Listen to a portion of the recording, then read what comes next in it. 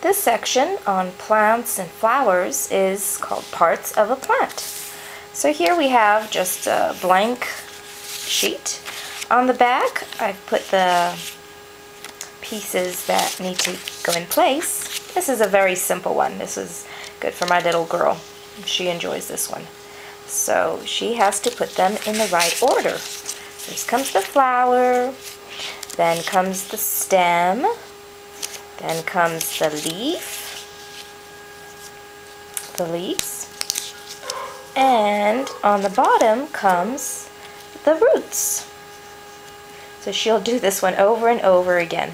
But it's good practice to learn the different parts of the flower, the names, the vocabulary words, what they mean. You can even practice your reading with it and the order of the parts of the plant. Now for my little boy, for parts of a plant, I made a different little page.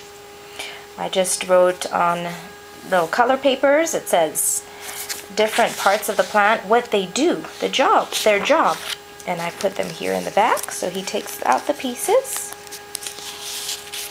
I try to make these into little games that they can review over and over again for fun, for extra review. So here's a picture of roots. So he has to find that these are like the little definitions of each part. It's the leaves, the stem, the flower, and the roots. And then he has to put them in the right place. It says, make seeds. So he puts the flower. The flower makes the seeds. Take water and minerals from the soil. So he puts the root on top of there. This makes food for the plants. It's the leaves and moves water and minerals from the roots to the leaves. The stem is left. Anyway, that makes for another fun little game, parts of a plant, and a little bit more challenging for my little boy. Then I folded the paper into four parts, like this, as you can see the little folds. And on the top, I said, okay, draw the flower. On the next part, draw the leaves. Then draw the stem and draw the roots. And so they had lots of fun doing this. This is Alvin, he's four years old, and he got to write the words all on his own. Pretty good. And this is my little girl. She did the picture all herself too. And then I helped her out. She traced over the words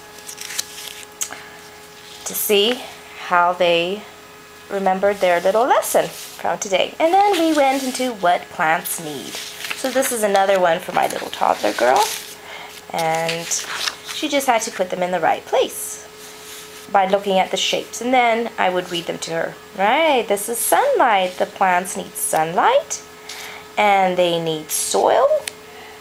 They need water from the rain. And they need air to grow into pretty flowers. So that was our little section on parts of a flower and what plants need.